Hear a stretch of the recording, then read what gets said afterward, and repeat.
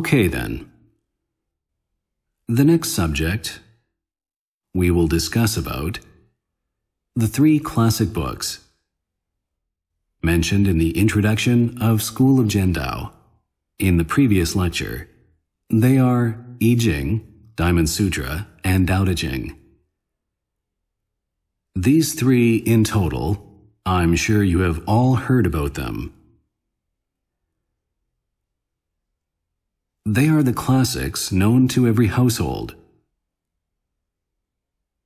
But there are only a handful of people who really understand these three books. Even fewer could master these three books.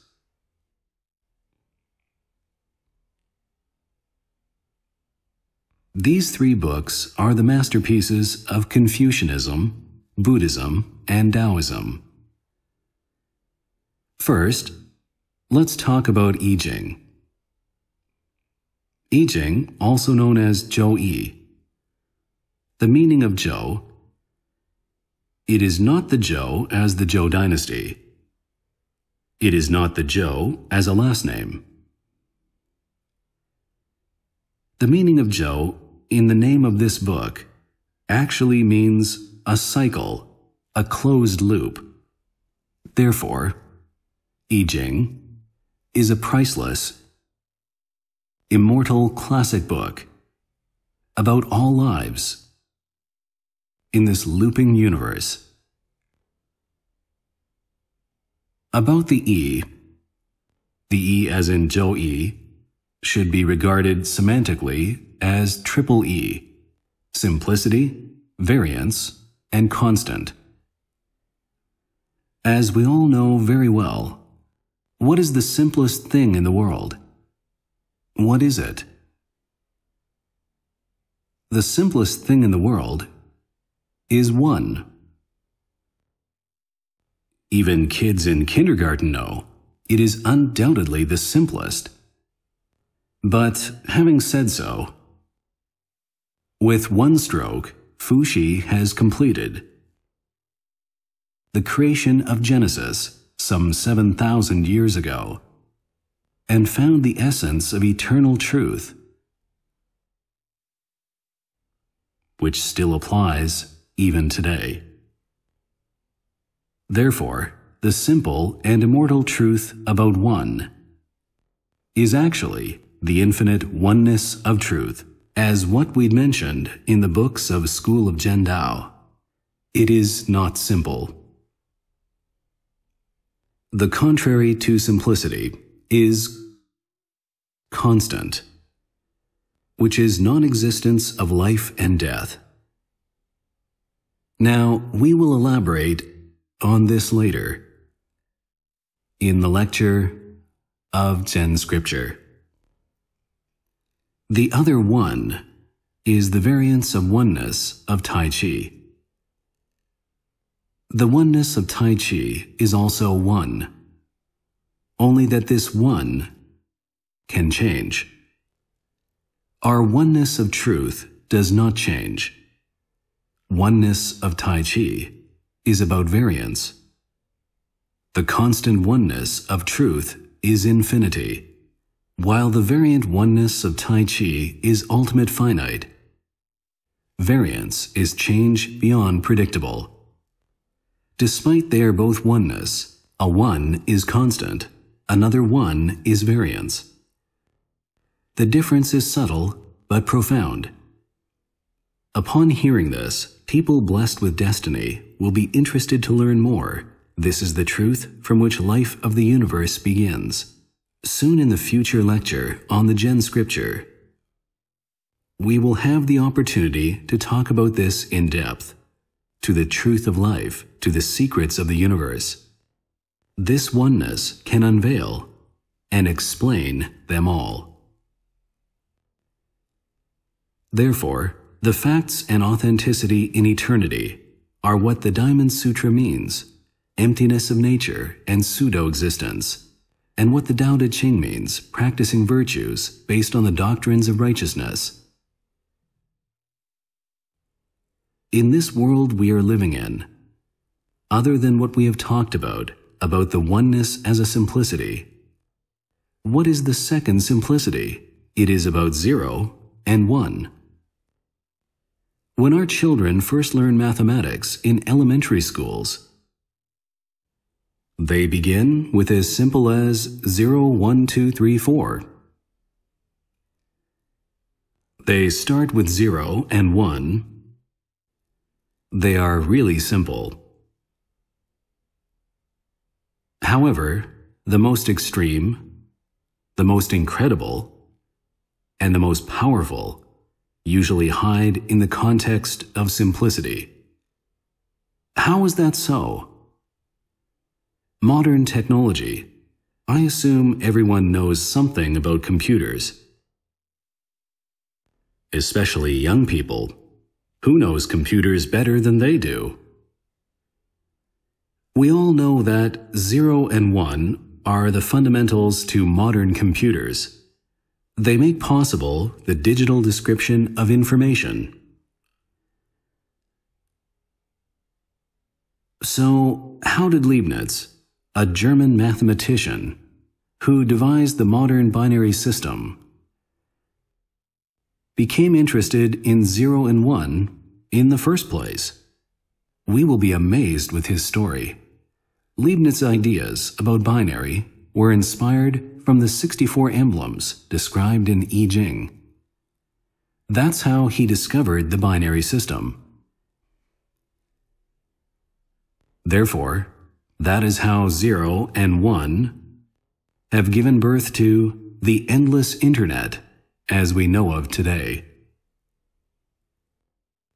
Simple as this story may be, but it tells us that Fuxi, who lived 7,000 years ago, was not only the forefather of Han Chinese civilization, but also the pioneer of modern computer technology. Folklore describes him as a hybrid of human and dragon. Okay, let's go on to variants in I Ching. Variance in I Ching helps us to understand the theory of everything in this universe all phenomena visible to us do not really exist.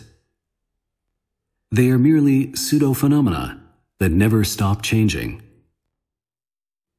That is why I Ching was not called I Ching in the beginning. It was called Bianjing, meaning the canon of variance. The world we are living in changes constantly we have mentioned earlier about changes that never stop. And that state of constant change makes life suffer. We have conditioned ourselves to be adherent to phenomena that never stop changing.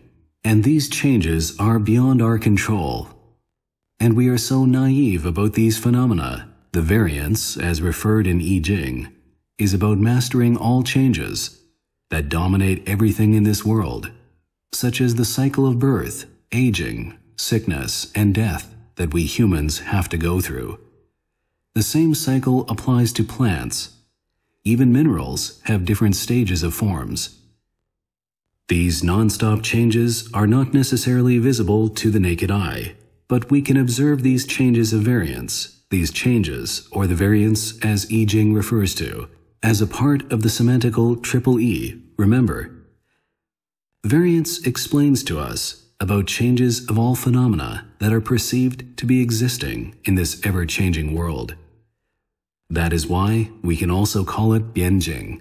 From now on, perhaps, you will understand that I Ching may help you to learn about this ever changing world and help you to appreciate the ever changing phenomena when applied to our lives.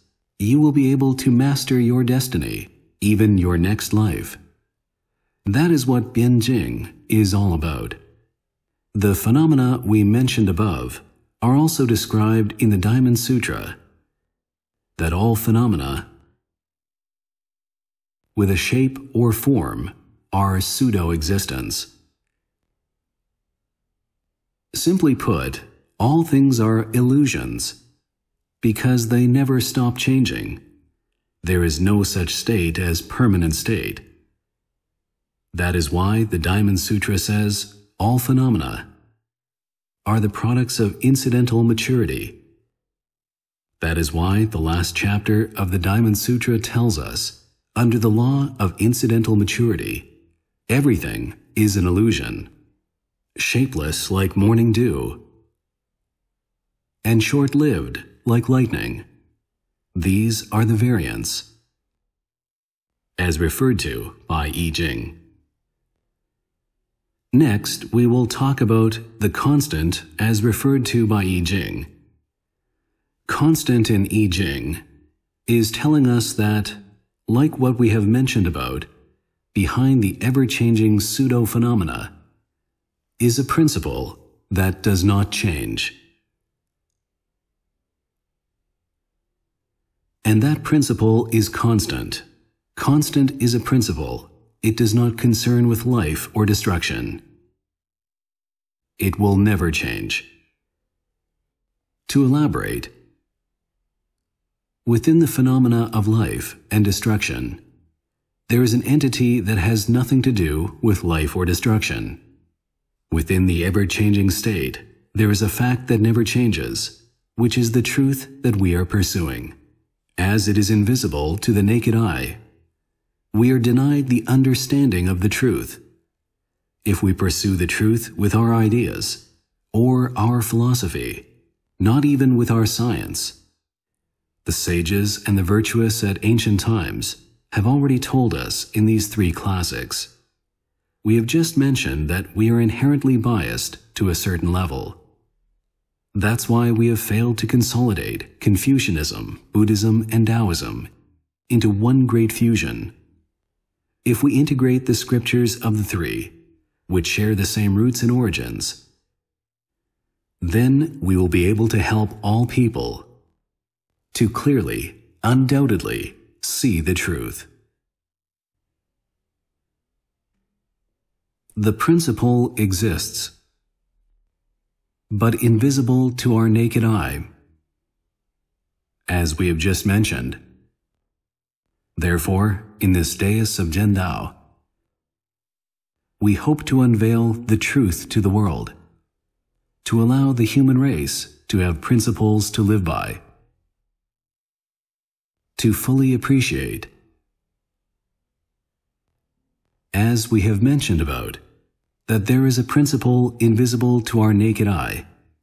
In other words, among life and destruction, there is a principle that concern neither life nor destruction.